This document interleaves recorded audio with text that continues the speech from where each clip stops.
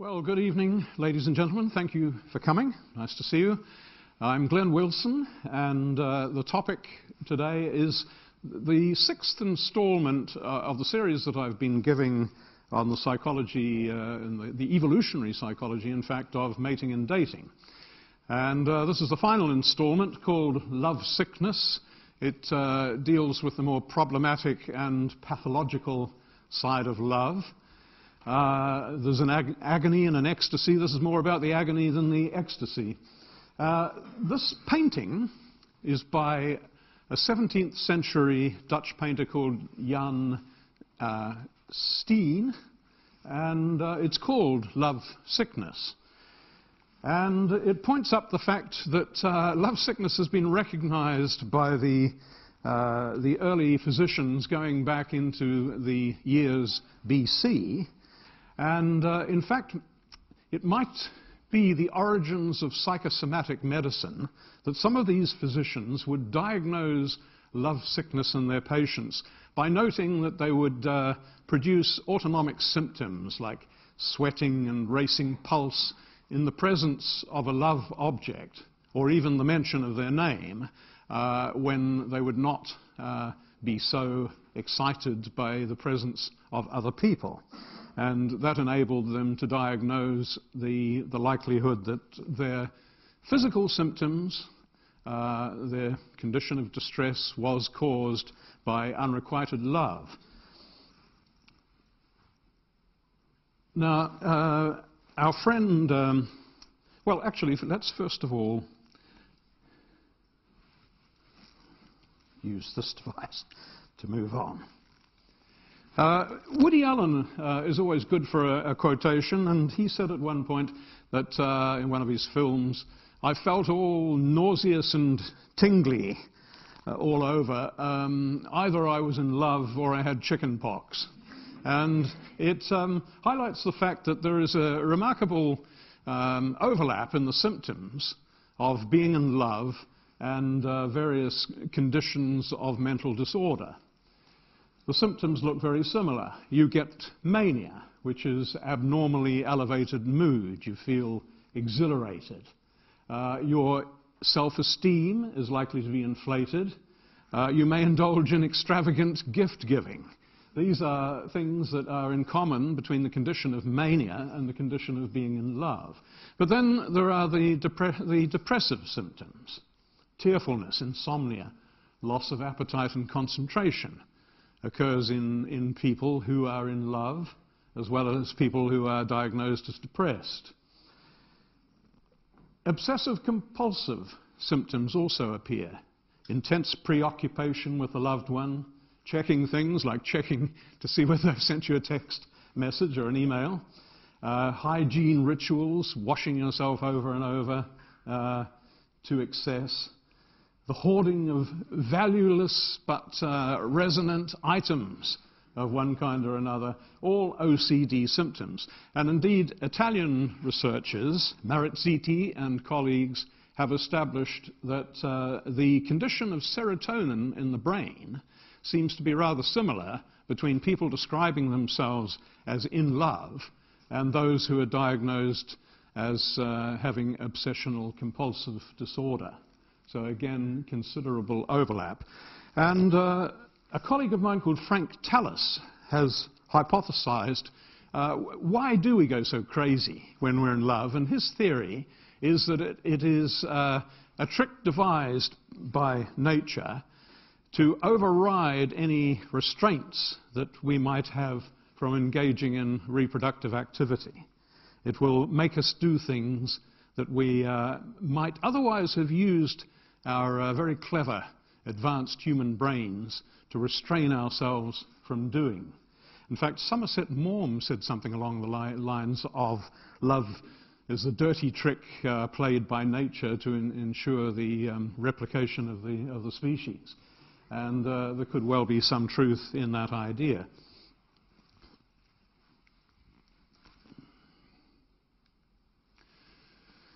Now, if being in love is a painful condition, how much more so is uh, the loss of love or unreciprocated love?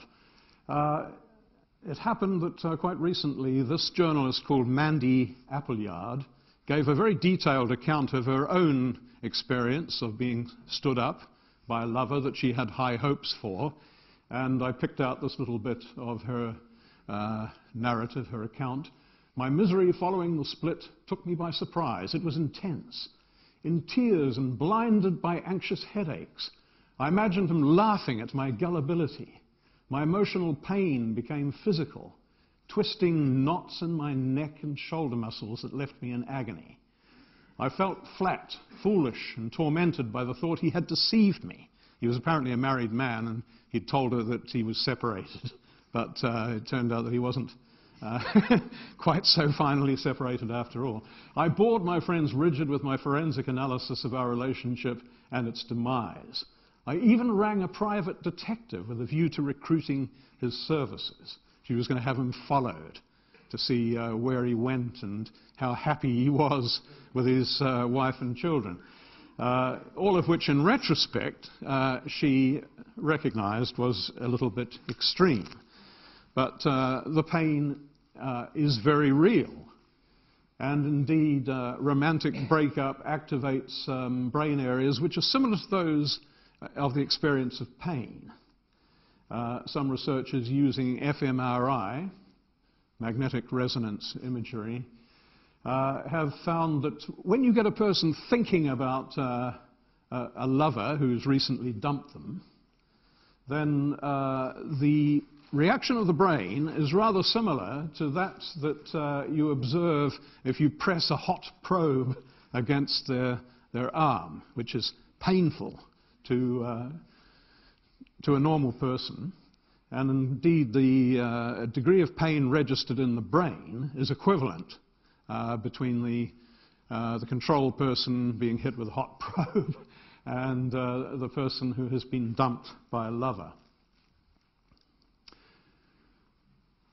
The areas of the brain that are activated in unreciprocated love seem to overlap with the same areas of the brain that are um, active when a person describes themselves as being isn't in love. These are the mesolimbic reward centers of the brain. Uh, right in, in here, you have the, um, the ventral tegmental area, which is a key part of the dopamine reward system. And uh, the, meso, the, the uh, forebrain motivational areas, that more out the front, uh, apparently in common to um, being in love, uh, being addicted, and uh, being rejected, at least in this group of people who had not yet given up on recovering their, their lover and picking up from where they had left off. If they have given up completely, uh, the brain might be registering a slightly different pattern of activity. Other studies have uh, looked at heart rate in people who are given an experience of rejection. This is a very experimental study in which they submitted photographs of themselves, which were supposedly evaluated by potential dates or partners. And they were later given feedback as to whether this person that they fancied terribly uh, was interested in them. And uh, the interesting thing was that if they uh, found that an attractive person had given them a knockback, theoretically, this would result in a slowing of the heart rate. The heartbreak, incidentally, uh, is a deliberate uh, spelling error to uh, give it that other, the idea of slowing down. And uh, what does a slowing heart rate mean? Well, it's a, a, function of the parasympathetic branch of the autonomic nervous system, uh, whereas the, the, sympathetic is concerned with mobilizing resources for fight and flight. The parasympathetic goes the other way. It uh, is concerned with calming you down and uh, compiling resources for, for future use. And uh, a slowed heart rate is in a sense uh, equivalent to fainting or shock in extreme forms. Shock in the medical sense of uh, extremely low blood pressure. and uh, it, it, can be thought of as a sort of, I give up. I, I, will go depressed because there's no point in thrashing myself at, at this point. I'll um, save it for, a, for a, save it to fight another day. Now, the immense grief of losing a partner to a long-term partner to death apparently uh, results in a lot of premature deaths. In this um, Scottish study, 40% of men and 26% uh, of women uh, had died within three years of their partner. And it's beyond chance. Uh, the, the hazard ratio, as they call it, is something like 1.4 for both men and women. It's the same uh, increased likelihood of dying uh, as a result of the loss of your partner. Um, the fact that it's 40% of men, 20%, 6% of women, of course, just refers to the fact that men tend to pop it earlier than women anyway, so that if their wife has died earlier, then uh, they are at much greater risk uh, because life expectation is shorter. But the loss of a partner apparently does have an impact uh, on um, the other partner for, particularly in the early years, particularly in the first six months, uh, but uh, may have even longer term repercussions.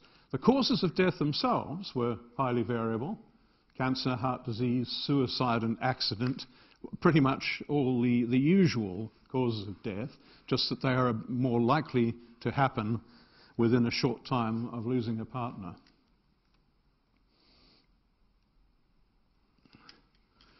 I promised to deal with uh, how to uh, recover from a broken heart, and that was a bit reckless, I'm afraid, because it's a major topic in itself. And I don't want to turn it too much into a, a sort of a self-help uh, lesson, but uh, it has many um, aspects in common with kicking a drug habit. Uh, the first thing is to realize that you're not to, to, blame for the breakup of your relationship. There are lots of reasons why relationships break down, and it's uh, not, not necessary to assume that you are to blame. Uh, nor is your ex uh, necessarily to blame, so uh, you can avoid uh, getting all bitter and twisted about it.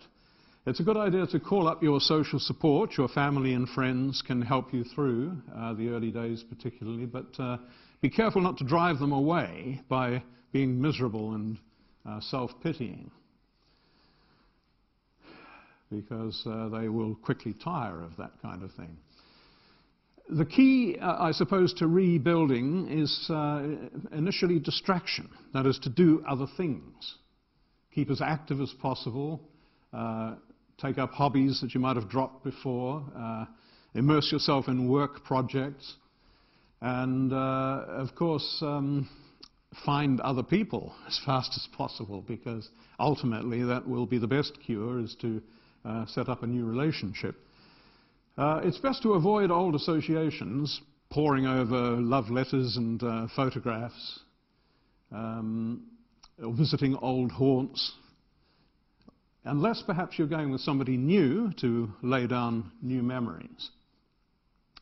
Important to look after your health, keep fit, uh, which will, of course, help you get a new partner if, if that's uh, something that you're intending to do. And uh, pamper yourself is a suggestion. You know, get uh, spa treatments and massage and all that kind of thing will help see you through. But uh, it is a matter of time. Some of these things might uh, just speed up the process. Now, styles of attachment will, to some extent, uh, predict the way that people respond to uh, a breakup of a relationship. And uh, attachment styles are um, traditionally, or uh, rather empirically, classified uh, in relation to two big dimensions. One is called anxiety, which is um, the tendency to be afraid that your partner is going to run off, that uh, you're going to be left bereft. The other one is avoidance, which is uh, feeling discomfort if other people are getting too close to you. And uh, these are attachment styles that are classified in relation to the, the two primary orthogonal dimensions called secure, preoccupied, dismissive, fearful. They have various names in, in different people's research, but uh, that is perhaps uh, one of the most common descriptive systems. Now, uh, the interesting thing is that uh, the psychoanalytic psychologists like Bowlby uh, have always assumed that we learned our attachment styles in early relationships with our parents. But uh, behavior genetic research suggests that that is, uh, is not really so. That uh, about half of the, the variance is genetic, and the rest of it is down to the non-shared environment. That is uh, the environment that is outside of the home, that uh, experiences that are not shared with siblings. So uh, parental treatment, or the treatment that you get in early childhood from the caretakers that you're exposed to, does not seem to be uh, critical in determining your attachment style. Another discovery that has been made is that oxytocin is um, levels of secretion are connected with scores on the anxiety dimension of attachment styles. And uh, while the cause and effect could go either way, the researchers that discovered this connection uh, reckoned that um, oxytocin was the effect rather than the cause of the anxiety, and in fact that it was probably being generated uh, as an anxiolytic, uh, the purpose being to promote relationships by increasing the willingness to take risks uh, rather close to the Tallis explanation of mania uh, in relation to love. Researchers, uh, Sophia and all, uh, defined pathological love as an uncontrollable, over-possessive caring for a partner that's recognized by the individual themselves as destructive to other aspects of their life, like their family and their career. Don Jose being a case in point, if anybody knows the opera Carmen, uh, who sacrificed his military career and his fiancée and broke himself off for his family in favor of the gypsy Carmen, who immediately ran off with a bullfighter and uh, it ended in tears rather inevitably. Um, these people's research looked at the personality types of people suffering this uh, pathological degree of love and they found that compared with normals, they were inclined to be impulsive, not surprising, reward dependent, that is, needing, being a, of an addictive personality, I suppose, a bit, a bit needy, uh, inclined towards smoking and drinking, for example. Uh, spiritual actually uh, doesn't quite mean religious. It means something more like dissociative, a tendency to be a bit histrionic. Uh, and they tended to be low in self-esteem.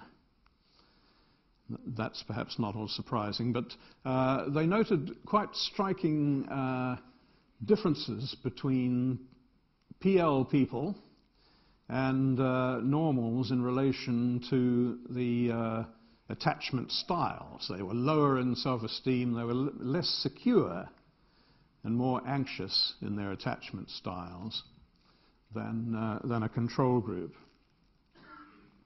Now, of course, there are other forms of pathological love, uh, particularly the kinds which are psychotic in the sense of being delusional, but we'll come on to those shortly. In terms of the attachment styles, it's been discovered that pet owners uh, tend to be more attached to their pet than to their partner. Uh, which uh, is that uh, pathological? Well, maybe not, because Pets emit uh, infant signals that arouse parental instincts and hence they serve as child substitutes. They don't argue with you, they don't leave home, uh, and uh, they have been shown to reduce stress, for example, as indexed by lowered blood pressure, and they do seem to increase longevity. So the widowhood effect may be countered by having a pet. Incidentally, I don't think I'm supposed to call them pets anymore. According to the PC Brigade, they are now animal companions. It's apparently patronizing to call them pets. Jealousy uh, is an emotion that most of us feel from time to time uh, when you feel threatened by a love rival. It's a normal uh, experience, uh, although you don't necessarily have to be self-righteous about it.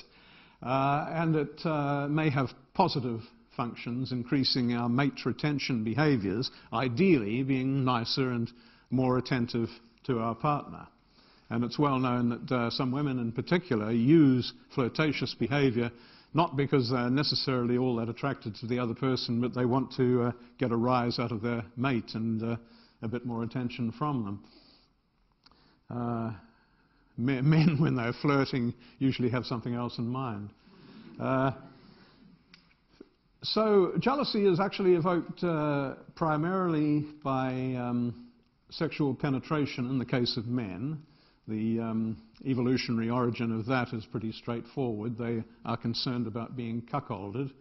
Uh, for women, it's uh, emotional involvement that they're more concerned about because they fear the loss of uh, the relationship and perhaps all the resources that might uh, be carried with it.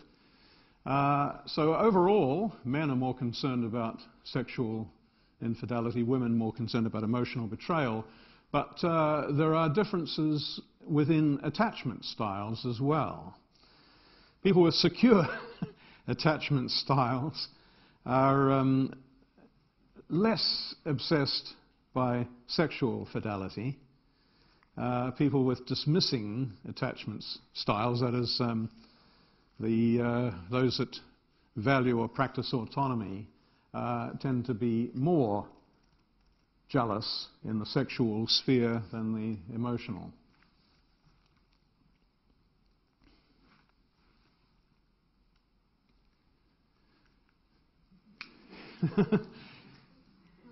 now, obviously, the um, attributes of the rival uh, will alter the degree to which one feels jealous. In the case of women, uh, jealousy is increased when the rival is attractive, and uh, studies using subliminal exposure to attractive female faces will apparently increase the extent to which uh, a jealousy invoking scenario is uh, found to be effective on a person. Uh, what would the male equivalent be? Well, it's um, almost certainly social dominance or status, and one marker of this is stature, height. And there are studies showing that short men experience greater jealousy than tall men. However, they uh, are less likely to turn that into violence. I suppose they, they are actually not very effective. If they're going to get themselves into a fight, they're more likely to come off worse. Apparently, the extent of jealousy in women is affected by the contraceptive pills that they might be on. Those that are high in synthetic estrogens uh, will increase their jealousy. Uh, the progesterone content of the pill doesn't seem to be implicated. Uh, now, it's complicated by the fact that uh, the pill works by introducing uh, an external source of the hormone which shuts down the internal production. So it's not at all clear that estrogen is what makes people jealous. Uh, it could equally be argued the other way around. However, there are studies that show that men who have low prenatal testosterone, as indicated by the 2D, 4D finger ratio, which you've almost certainly heard about by now, uh, also tend to show more jealousy, um, which would suggest uh, a connection between femininity and jealousy. Again, uh, I'm not certain that these particular studies broke down jealousy into the, the classic male-female components. I think that it would be interesting to see that done because the, the picture is almost certainly more complicated than that. Stalking uh, refers to the repeated unwanted following or harassment uh, of another person, either physically or through um, modern communications like uh, email and uh, telephone. Um, there's a lot of it about, but it comes in various forms. The, um, the reasons vary. A common one being just refusal to recognize that a relationship is over and ought to be given a decent burial. Uh, then there is uh, the effort to start a relationship with somebody who is actually unattainable and out of reach, which is the classic uh, celebrity stalking phenomenon. Uh, there are various uh, forms of social incompetence. You can construe stalking in, in terms of clumsy courtship, uh, which I'll mention again shortly with an example. Sometimes it is planning a sexual assault. Of course, that's the possibly the most sinister kind of stalking. Serial killers will sometimes stalk their victims. One way or another, about 8% of women and 2% of men have been stalked. Most stalkers are male and the victims are female. However, if the victim is a man, he is just as likely to be stalked uh, by a woman as by a man. Some of the stalkers are uh, psychotic. That is, they are deluded that the other person might one day give them the time of day. Others are obsessional. Some of them are personality disordered, uh, particularly of the antisocial, narcissistic, and paranoid varieties. Queen Victoria had a stalker, uh, which is quite interesting. Um, there's a book written about it uh, recently by uh, Jan Bondeson. Apparently, this was a chap called Edward Jones who habitually broke into the apartments in Buckingham Palace and uh, rooted through her underwear and so on. he was uh, discovered lurking in her dressing room uh, and arrested and put before a magistrate who rather um, said a bit of a jolly jape, this, and dismissed it as a, what he described as a daring folly. Uh, I can't imagine that happening today, but uh, he became, this chap, uh, Edward Jones, became a folk hero.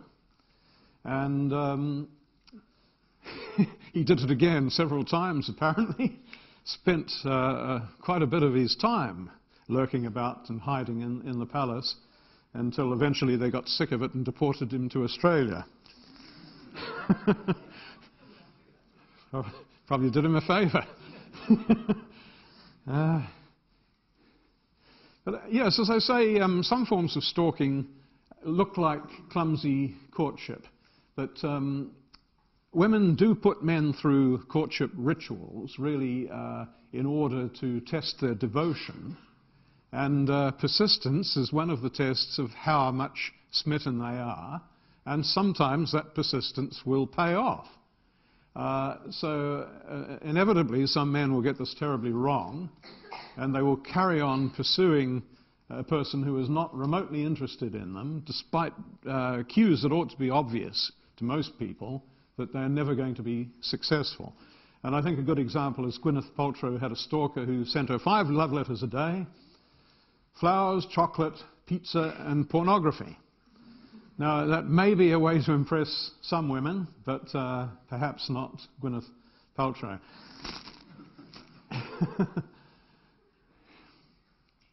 now, stalking by an ex partner is the most common and also the most dangerous form of, of stalking, other than the serial killer stalking. And these are usually what you might call controlling males. Uh, they are a little bit on the psychopathic side. And being stalked by a partner is a particularly intrusive form because, of course, they know your lifestyle, they know your, your habits, where you're likely to go, who your family and friends are. So they can be one step ahead of you. Uh, they know you go to pick up the children from school at a uh, particular time and place, and they can be there to intercept and they will use the, the children as an additional tool of intimidation. Uh, very often the prior relationship is abusive and coercive and violent, so that in a sense the stalking is business as usual. It uh, very often begins while the relationship is intact, but it tends to escalate and is likely to become more dangerous after a separation.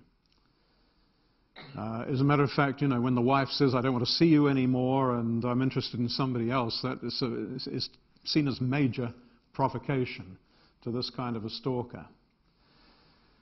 Uh, it lasts on average about two years.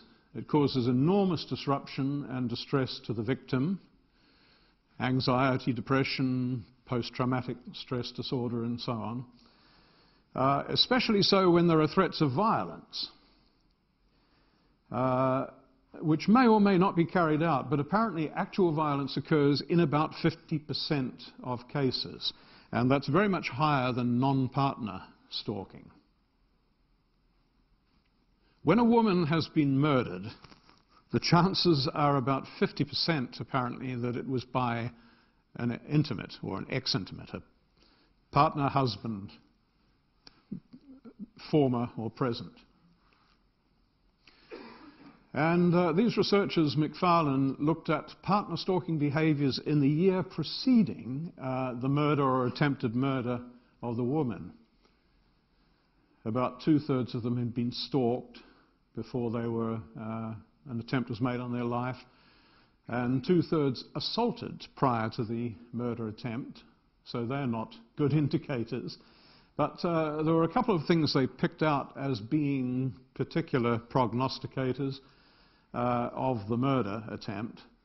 Um, not surprisingly, if they've been spied on or followed, that is, stalked, uh, they're twice as likely to be uh, killed as other women subjected to abuse of other forms. And, uh, but the real um, marker of dangerousness, I suppose, are threats to harm the children if the woman left or did not return they're associated with a ninefold risk of murder compared with the control group of abusive men. So the picture comes from the film Niagara, incidentally, in which uh, Marilyn Monroe was on honeymoon with this chap, but uh, seeing a lover on the side. Uh, and hubby didn't appreciate that. and ultimately kills her. Now, de Clerambault syndrome uh, is a bit of a fancy name. It's uh, the name of the French psychiatrist who identified it in 1921. I suspect he became uh, a victim of it himself, which is how he recognized it. It's the delusional belief that you are loved by another person most commonly, it occurs in middle-aged women who believe that a known high-status male, often their doctor or their lawyer, some professional that they are dealing with, is secretly in love with them, but prevented from uh, declaring his love because of some problem. Either he's terribly shy or more often he's married. Uh, but the fact that he loves them is betrayed by subtle little signals that they're giving out like he smiled at me, or uh, he was wearing a tie of my favorite color. And th that is a cryptic clue uh, that he is terribly in love with me, and uh, if it wasn't for the fact that I was married, of course, we would be together.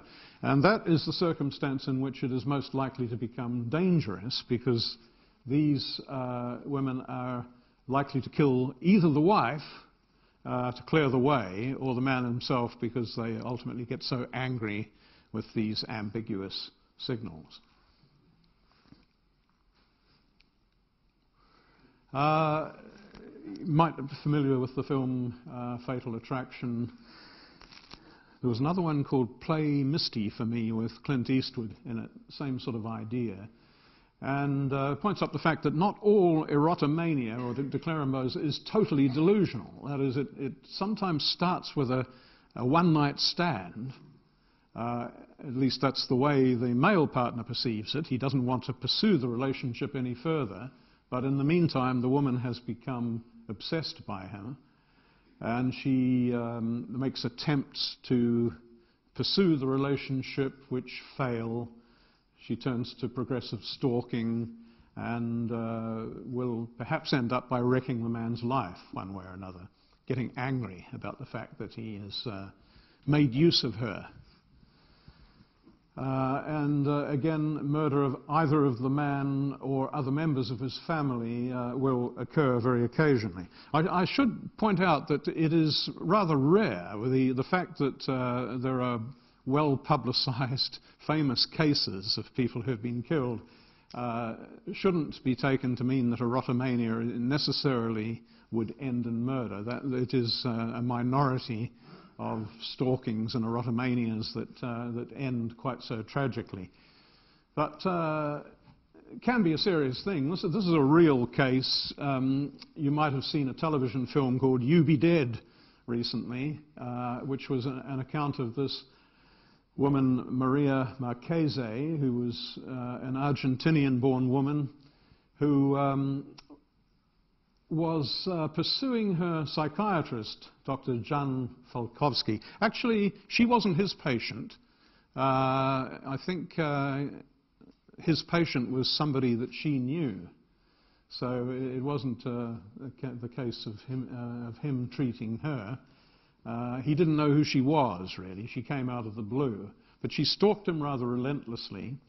She sent threats to both himself and his fiancée, uh, which freaked her out to the point that the relationship ultimately broke down because she couldn't believe that he wasn't up to something himself.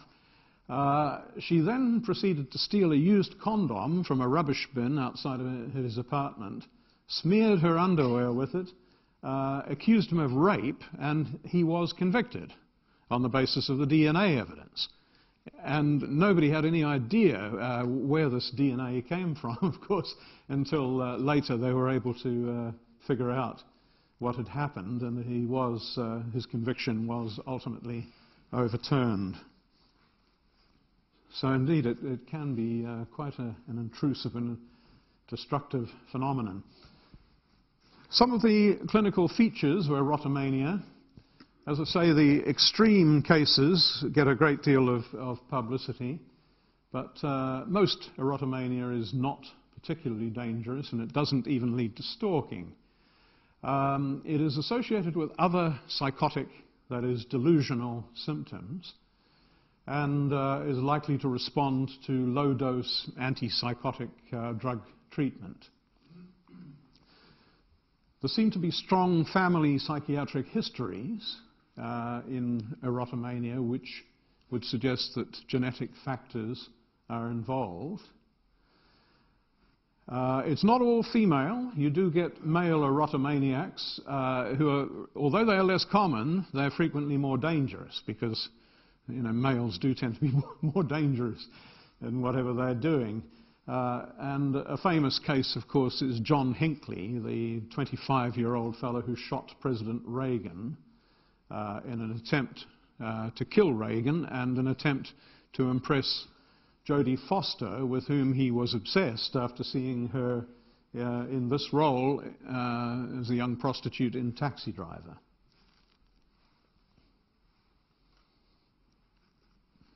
Might have helped if she'd come out a bit earlier, and he might not have uh, had to shoot President Reagan.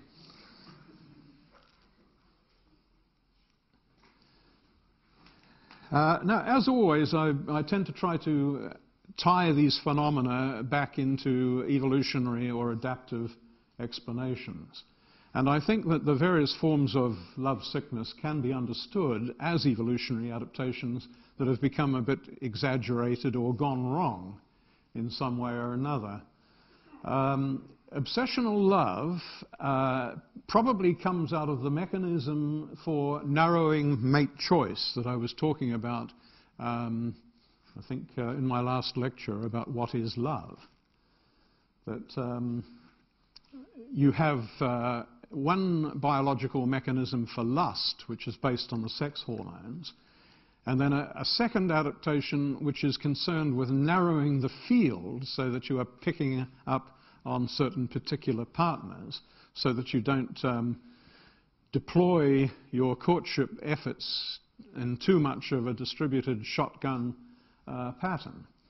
Uh, and that's what being in love is all about, according to Helen Fisher and uh, other evolutionary psychologists. Uh, as Frank Tallis has suggested, mania uh, which is one of the striking symptoms of being in love, uh, is probably a mechanism for overriding inhibitions that we have against procreative behavior, or at least we are capable of having, because as human beings we have uh, a powerful cerebral cortex which is capable of manufacturing concern for consequences and inhibiting our behavior, restraining our behavior.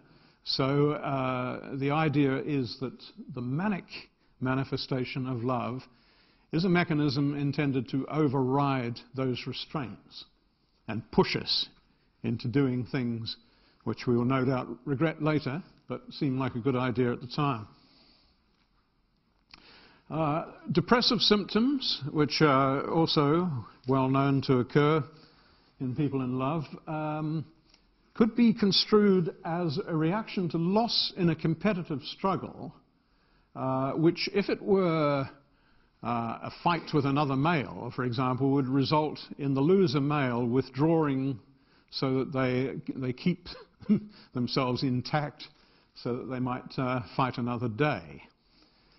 And uh, so that depression may have adaptive advantages, that will, you will just step back a bit and uh, conserve your resources so that you're uh, better equipped to mobilize them again later when it will be more appropriate to do so. Extreme jealousy, uh, and uh, I didn't actually mention extreme jealousy, but uh, there are all these newspaper accounts of women scorned who have cut up the suits and uh, poured out all the expensive wine of their partner and so on, and they, they seem chuffed by that, that idea that uh, they've, made their point. They've uh, expressed their annoyance very, very powerfully. Um, partner stalking also can be thought of as either clumsy courtship or mate retention tactics that have been taken to extreme or become misdirected and um, probably ultimately counterproductive in that you're not likely to actually win anybody back by cutting up their suits. Uh, and uh, if you tell that account to the next bloke that you're lining up, he's probably not going to be very impressed either. He thinks she's a bit dangerous. Go away and find somebody else. Um, female erotomania probably stems from the instinct to acquire a high-ranking long-term mate, which is, a, again, a very female trait that uh, I mentioned the parental investment theory in, in, some of my earlier lectures, in which uh, males have this tendency to, uh, to seek multiple young partners, while females have more of an interest in acquiring uh, the ideal father and uh, protector for their, for their children, and hence looking to attach themselves to a high-ranking uh, male who shows indications that he might be prepared to hang about for the long term. And very often these are men who are socially successful and very often older than, than the woman concerned. So uh, the characteristics of de Clerambault's seem to be an exaggeration of uh, a classic female pattern. Uh, which of course can be taken to the psychotic uh, deluded level, in which case uh, drugs might help to contain uh, those delusions. Neuroleptics, uh, the obsessional side of, of love might be dealt with by serotonin bo boosting antidepressant drugs. Um, and indeed, the, these um, psychotropic drugs are used for these purposes, but many people would say that uh, other forms of therapy uh, might be tried, perhaps uh, instead of or in addition to drug treatments. Cognitive behavior therapy of one sort or another uh, might be used. Um, one might think of the treatment of Mad Margaret from Gilbert and Sullivan's Ruddigore. Uh, Mad Margaret was um, crazed by unreciprocated love for Despard, and uh, they came up with this treatment that today is known as thought stopping, which is that they provided her with a key word that could be used either by herself or by others that would, uh, would have a grounding, calming effect upon her. And they latched upon a word that was uh, described as teeming with hidden meaning. You know the word? Basingstoke. so, so, whenever Mad Margaret was getting a bit out of hand, uh, they'd say, Basingstoke, Margaret! Oh, Basingstoke it is! Yes. a bit of the old uh, Monty Python aspect of, uh, of Gilbert and Sullivan. Um, nothing new under the sun here. So uh, that's uh, really the end of, of uh, six lectures on the evolutionary basis of love.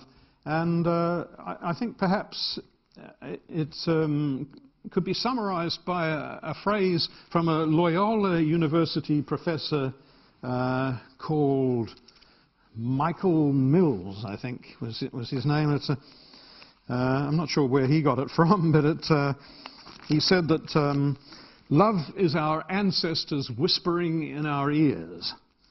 And uh, I think that's quite a nice uh, way of, of, thinking of um, the phenomena of love and uh, the evolutionary origins of them.